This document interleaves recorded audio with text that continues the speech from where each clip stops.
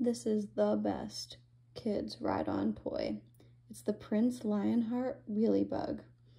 It rides so smoothly. The wheels are awesome. They're so sturdy. And you want to know how I know it's the best?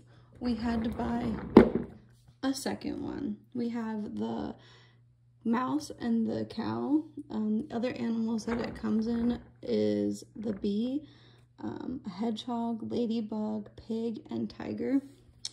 Um, right here we have both the large size which is geared for ages three and up, but our small two-year-old definitely um, uses this and is able to touch the ground and wheel around.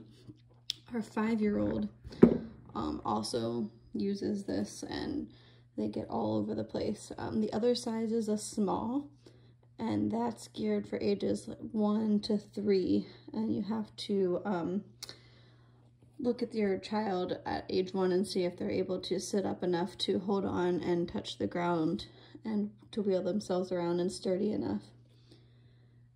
Um, one of the things we really like about the mouse and the cow is that they are wipeable, so if things get spilled on them, they're nice and um, the material is nice to be able to wipe things off versus I think the hedgehog has like some fur on it, so it's not as easy to clean.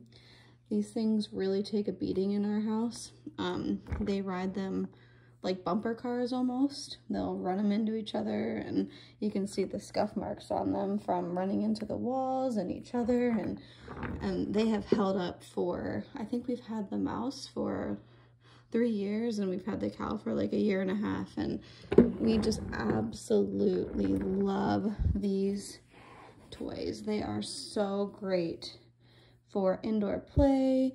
Um, when you can't go outside, they get their energy out just riding up and down the hallway.